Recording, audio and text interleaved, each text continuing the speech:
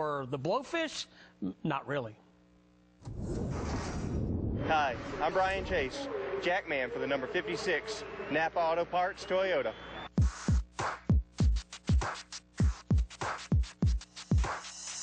When you asked me about Brian Chase, I had to I had to think real long and hard and be like, oh yeah, that's Hootie. Brian Chase, I wouldn't know who is that, but uh, I know him by Hootie, but I'm not sure where it came from. We call him Hootie. That's his nickname. I'm not sure how he got it. He's got a nickname for me. I'm not sure where he came up with it, but for some reason he, he likes to call me one way. I've heard some rumors that it might have come from a restaurant you know, with owls and stuff, but I really don't know the whole story, so we're just going to leave it at that. well, uh, when I first got into racing, we had a little uh, a deal set up where every week we would flip quarters, odd man out had to buy lunch.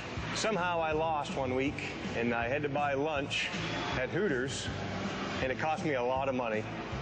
And we walked out of there and they said anybody that spent that much money at Hooters has got to be called Hootie. I'm extremely competitive.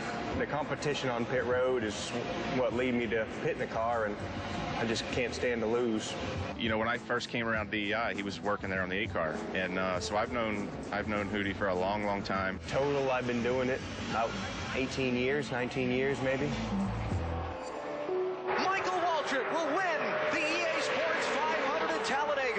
We won a lot of races with Michael, the Napa team. We won some 500s and Talladega and uh, was really good over there in the Napa experience. He's a passionate guy. He's one of the older guys, but he, he's uh, probably the best in shape guys on our team. The good thing about Hootie's, he's been around the sport for a long time, so he's one of the like one of the senior guys. So I don't have to worry about what he does because I know he's he's got a lot of experience. There's some races where you think to yourself, boy, I hope this goes right. You know, it, even after all these years, there's still some places or some instances where you get nervous. And he pit strategy, I can tell you that. And lead, and then it all goes to hell. Perfect pit stop comes in. Uh, it's really important that the driver stops on the mark.